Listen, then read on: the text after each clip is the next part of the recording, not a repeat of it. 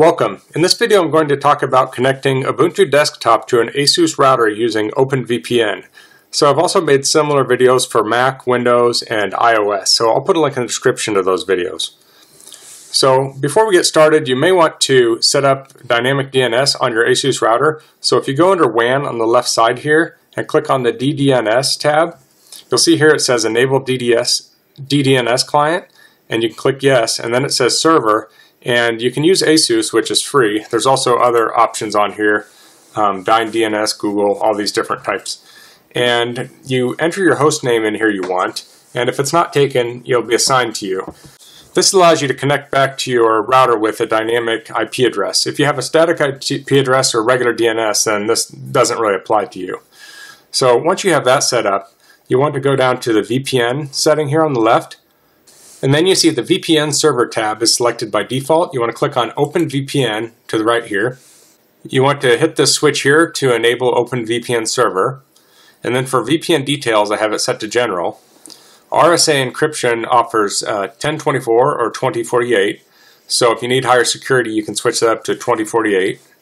And then client will use VPN to access local network only and internet and local network. So local network only is if you have some sort of application on your local network you want to access.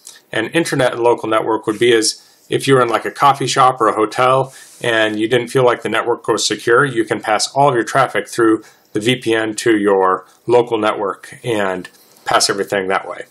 Next we have export OpenVPN configuration file. So we'll click export here and that will save that to our downloads folder. It's client.ovpn.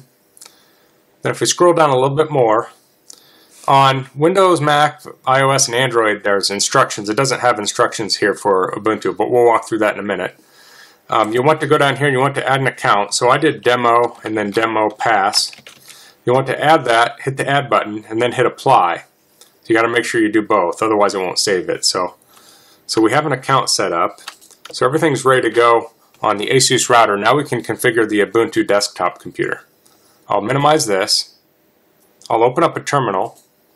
I'll want to type sudo space apt space install network dash manager dash open VPN dash gnome. I'll hit enter here. It'll ask for my password. It'll uh, say it's going to install these other packages. We'll hit yes. Okay, and that's set up. Clear this and we can close this terminal. Now we want to go to our control panel so you can go through your, uh, I don't know what they call this now, the search, and you can type settings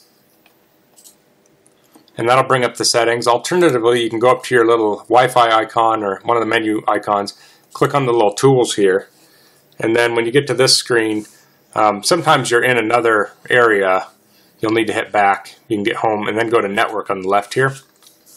And then we can go to VPN. We'll hit plus here. We'll say import from file. We'll go to our downloads. We'll choose the client.ovpn. We'll open it. And then we can name this.